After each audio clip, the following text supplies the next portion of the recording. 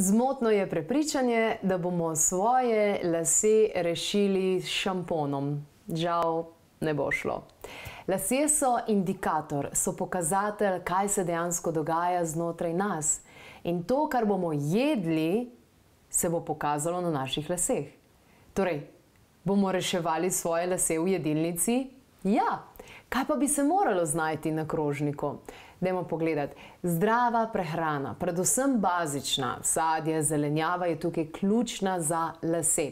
Treba je tudi zmanjšati količino mesa, izločiti sladkor, prečiščene oglikove hidrate.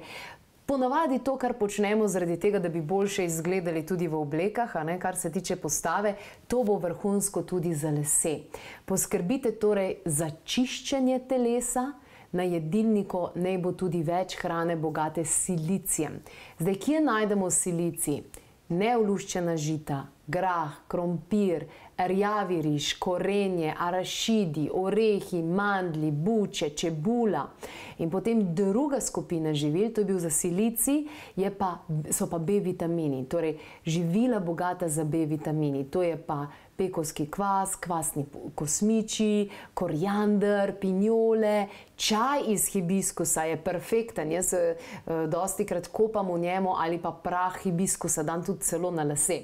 No pa lubenica poleti, sončnična semena, tahini, to je iz eh, sezama pasta, uh, spirulina, grah, različne stročnice, špargli tudi spomladi, ki so mandli, špinača, kvinoja, uh, ajda, ajda je perfektna, dejansko tudi B kompleks, ki ga priporočajo naši strokovnjaki v obliki dopolnila je iz kaljene ajde. Sicer pa z B vitamini so bogati tudi cvetača, leča, orehi, fige, tako da v vsakem letnem času se najde nekaj lokalnega, sezonskega in ekološkega, da boste dobili dovolj vitamina B že s hrano.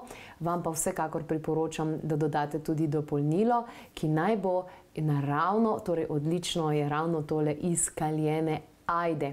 Ta priporočen izdelek najdete na strani, mi pa gremo zdaj naprej. Zdaj, treba je spodbuditi tudi proizvodnjo kolagena. In za naravno tvorbo kolagena smo spet pri tem, da rabimo B vitamin, rabimo tudi C vitamin, pa cink, pa A, pa žveplo, pa kali, pa magnezij in tako naprej, kar pomeni, da je zeleno listnata zelenjava ključ. Zdaj, kaj je to? Ohrod, špinača, rukola, trave, kalčki, vse to je polno antioksidantov, mineralov, vitaminov, ki pomagajo spodbujati proizvodnjo kolagena in tudi znižujejo te proste radikale, ki dejansko škodujejo kolagenu. Tako da to je zelo pomembno. Zdaj, če še niste navdušeni nad tem, da doma pripravljate svoje mikrozelenje ali pa da si vzgajate kalčke in podobno, potem je super hitra rešitev če popijete vsak dan eno eko zelenje. Tukaj noter so alge, trave, kalčki in tu dobite tašen šus vsega tega in seveda tudi klorofila, ki prinese več kisika v telo, da bo uh, ojojoj. Uh, sicer pa treba je absolutno piti tudi dovolj vode, sicer pa če želimo okrepiti lase, moramo okrepiti ledvica. Sej ledvica pravzaprav so nič drugega kot element vode. Tako da, dajmo pogledati, s čim bomo okrepili ledvica. Ledvice so element vode, ampak ljubijo pa toploto. Torej, če grejemo spodnji del hrbta, bo to super.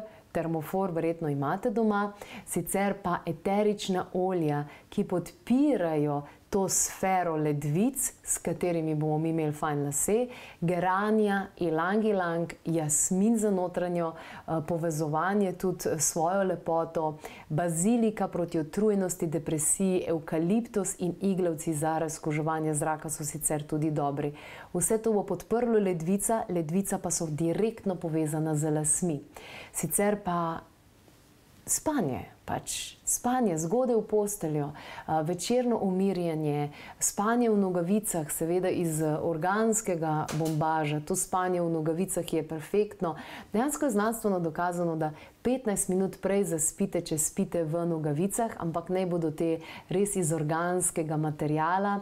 Jaz imam take, razvili smo jih v eno mikropretilnici iz Slovenije z elementi prizemljevanja, zato da se še bolj naspimo in da to lahko dobro vpliva na nas.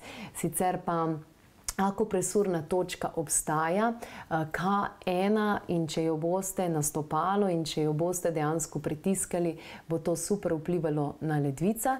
Je pa fajn narediti tudi čustveni detoks, meditacija, pisanje dnevnika, dihalne tehnike, energijske vaje. Vse to podpira sfero ledvic, zaradi tega, da boste res popolnoma podprli svoje lase in ne samo lase, seveda tudi svoj nivo energije. Ampak danes se pogovarjamo o laseh. Torej, tonik za ledvice, ki si ga lahko naredite, je pa limona, malo tople vode, kakšen dober čajček tudi in to spijete med 17 in 19 uro, ko bo vse, kar naredite za svoje lase in ledvica, trikratno povečano. Ali pa, če boste takrat delali bedarije, bo takrat trikrat bolj negativno oziroma škodljivo. No, mm, že upoštevam. Na spletni strani se nahaja priročnik o prenovi in obnovi las.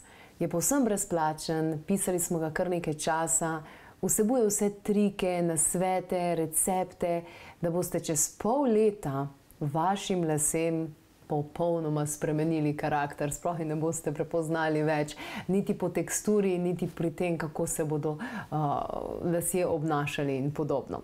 Ampak je pa treba začeti zdaj, ne? ker to se ne, kar tako ne zgodi.